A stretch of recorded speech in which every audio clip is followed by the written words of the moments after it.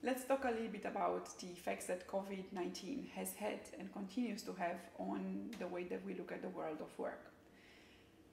When the circuit breaker or the lockdown happened, uh, a lot of us found ourselves all of a sudden having to work from home pretty much five days a week, 10, 11, sometimes longer hours a day. And surprisingly enough, uh, despite of the initial on the initial barriers that people have faced in doing so, most of us have adapted quite well. Actually, there are loads of research in the market, uh, loads of research carried out by different organizations, uh, Itoki being one of them, um, where information was collected from employees as well as from the managers to see how they coped in this time when people had to work remotely. The results are pretty encouraging in a way. Most of us have adapted quite fast. Uh, most of us actually see a lot of benefits in being able to have the choice to work from home.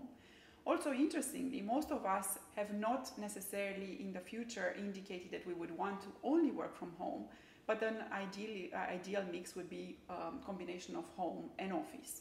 So, for those of you that are worried or concerned that the office is going to disappear, I would say, based on the data we have to date, uh, based on the discussions we've had with a lot of companies, the office is not going to disappear, but very likely the office will need to be reinvented and reinvent itself. Now, a lot of us um, having, you know, sort of indicated that we like to work more from home, we would like to do some activities from the office.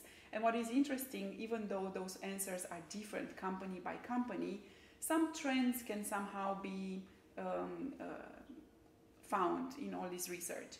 One of the trends is that most of us prefer to do personal activities, individual activities, like reading uh, documentation, reviewing documentation, doing deep focus work, um, taking uh, confidential calls. We tend to prefer to do it from home.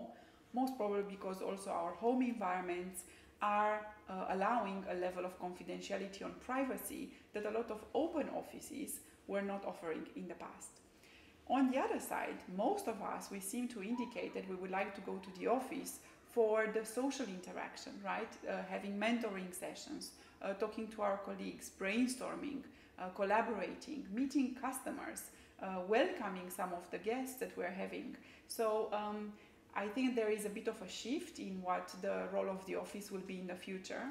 Um, but what I'm telling you now, it's pretty much average across a number of organizations. I think it's quite important that every organization will figure out what activities their employees and their managers would ideally want to have from the office versus from home and find the right equation and the right balance that works specifically for you.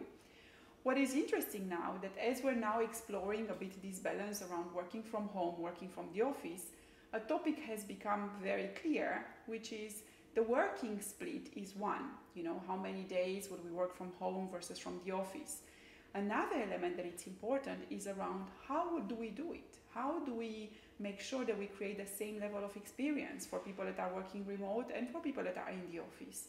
How do we make sure that collaboration ends up being seamless when people are calling in a meeting from different locations? So the questions that we're now getting from the, our customers are less around how much space can we save if we're embracing a new model of work or um, how can we necessarily increase collaboration between teams, uh, but much more around if our people can work from everywhere, what role will our offices serve?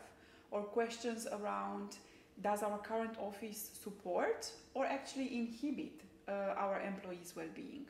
Or a question that we get very often is um, if this is happening, how can we influence in the future the degree of flexibility and agility in our organization? And what does an activity based culture, an activity based thinking actually mean for us, and how it can really support us with our growth in the future? These are totally different questions that we're getting from our customers. I have to say I'm quite happy about it uh, because I think more and more organizations are now realizing that the way people work is as fundamental to their business as having a solid business strategy or a very good brand promise.